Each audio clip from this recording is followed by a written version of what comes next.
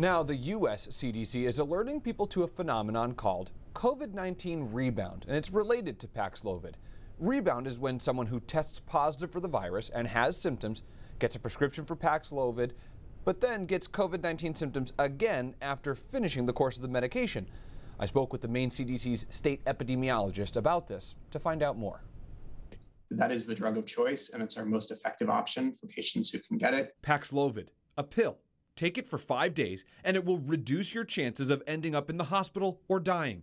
That's the promise from Pfizer and the US CDC. Their studies find the pill is at least 85% effective in preventing severe disease. This is hugely impactful. Right now, it's for people who test positive for COVID, have symptoms, and are considered high risk.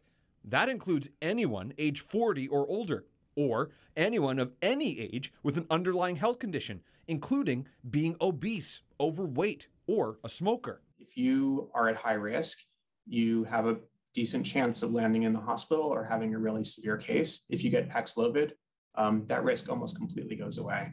But an alert this week from the US CDC points to COVID 19 rebound. That's when a person takes the full course of Paxlovid, tests negative, but then sees symptoms again within a week of finishing the treatment. There's limited information, but the US CDC notes most people who get rebound have mild symptoms that's scary for a lot of people. And I think it's understandably scary. Um, COVID can lead to some pretty bad outcomes. But the tricky part is that COVID symptoms that return after you take Paxlovid are not as much of a cause for worry.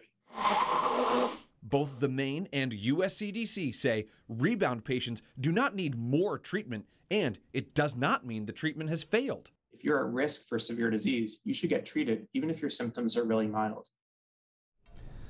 Now, the Maine and USCDC both stress getting treatment is not an alternative to vaccination. They both say vaccination is the surest way to protect yourself from severe COVID 19 like hospitalization or death. Chris, so does the U.S. CDC say if those rebound symptoms are more mild than the initial ones? So there's limited limited information from the U.S. CDC on this. Right now, they say they have no reports of anybody showing severe rebound symptoms.